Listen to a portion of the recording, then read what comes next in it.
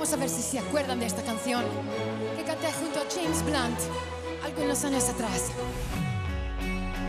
Y todos con las manos así.